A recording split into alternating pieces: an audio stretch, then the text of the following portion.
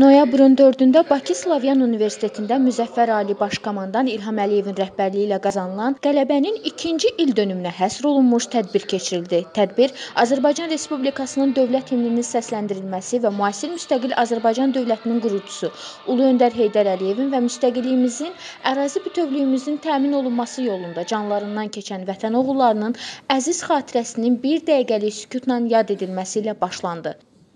Daha sonra zəfərlə başa çatan 44 günlük Vətən müharibəsi ilə bağlı videoçarx nümayiş edildi.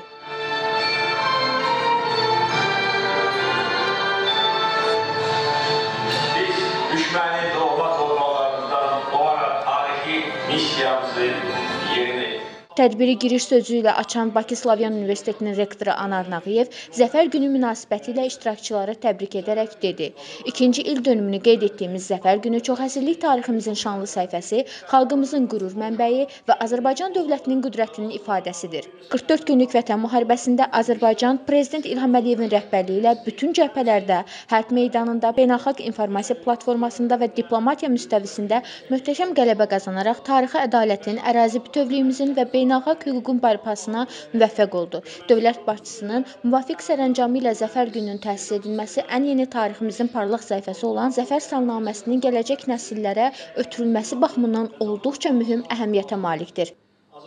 Vətən müharibəsindən ötən 2 ildə Azərbaycan tərəfindən atılan addımlar tarixi qələbəmizin nəticələrinin iqtisadi, siyasi və diplomatik müstəvidə möhkəmləndirilməsini təmin edir. Bu gün işğaldan azad edilmiş ərazilərdə ardıcıl və sistemli abadlıq və quruculuq işləri aparılır. Şübhəsiz ki, müasir bərpa quruculuq konsepsiyaları əsasında reallaşdırılan tədbirlər Qarabağ və Şərqi Zəngəzur iqtisadi rayonlarının yenidən qurulmasına səbəb olacaq. Anar Nağıyev vurğuladı ki, bu sevinci bizə yaşadan dövlət başçısı Müzəffər Ali Baş Komandan İlham Əliyevə, rəşadətli Azərbaycan ordusuna minnətdarıq. Canları, qanları ilə tarix yazaraq şəhidlik zirvəsinə ucalan vətən oğullarının ruhu qarşısında baş əyir, qazilərimizə Allahdan şəfa diləyirik. Onlar Vətən müharibəsində qazandığımız tarixi zəfərimizin qəhrəmanlarıdırlar. Qalib ölkənin vətəndaşı olmaq böyük qürur və məsuliyyətdir. Daha sonra Milli Məclisin deputatı Arzu Nağıyev Azərbaycanın təcavüzkar üzərində qələbəsinə səbəb olan siyasi addımlar və əsas istiqamətlər mövzusunda çıxış edərək tarixi zəfərlə dövlətimizin yeni reallıqlar yaratdığını diqqətə çatdırdı.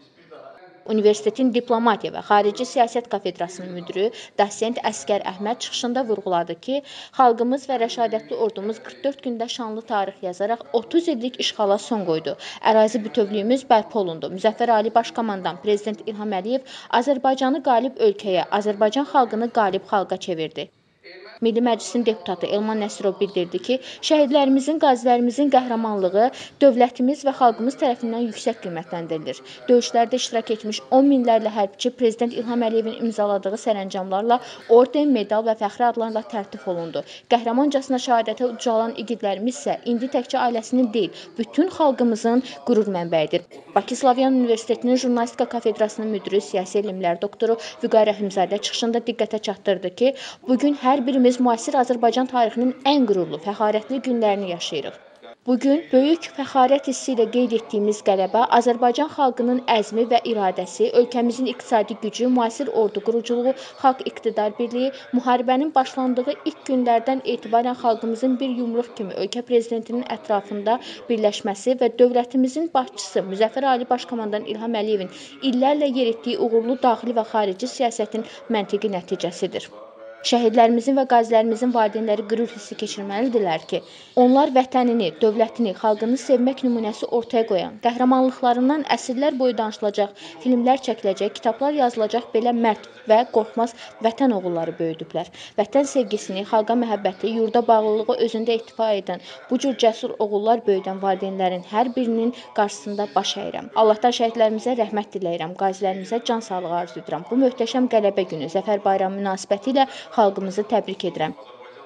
Milli Məclisin deputatı Vüqar Bayramov diqqətə çatdırdı ki, 44 gün davam edən və işğal altındakı ərazilərimizin azad edilməsi ilə nəticələnən Vətən müharibəsi tariximizin ən parlaq səhifəsi, Azərbaycan xalqının iftixar və qürur mənbəyidir. Daha sonra şəhidlərimizə həsr olunmuş videoçarx nümayiş edildi. Sonra hərbi komisar. 10-cu ildə orta məktəbi bitirdikdən sonra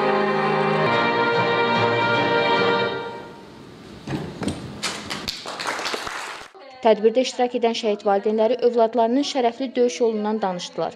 Onlar həmçinin dövlət səviyyəsində göstərilən diqqət və qayğıya görə Prezident İlham Əliyevə və birinci vitse-prezident Mehriban xanım Əliyevə minnətdarlıqlarını bildirdilər. Çıxış edən En saylı hərbi hissənin zabiti leytenant Pərvin Əzimov Vətən müharibəsi ilə bağlı xatirələrini bölüşdü və döyüş yoldaşlarının göstərdikləri igidliklərdən söhbət açdı. Xalq artisti Nurəddin Mehdixanlı tədbirdə çıxış edərək bildirdi ki, 44 gün davam edən haqq mübarizəsi sayəsində bütün dünya gördü ki, Azərbaycan xalqı bir yumruq kimi özünün Ali Baş Komandanının ətrafında birləşib.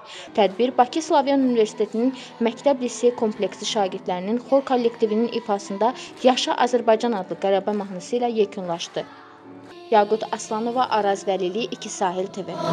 Yaşasın qəhrəmanımız.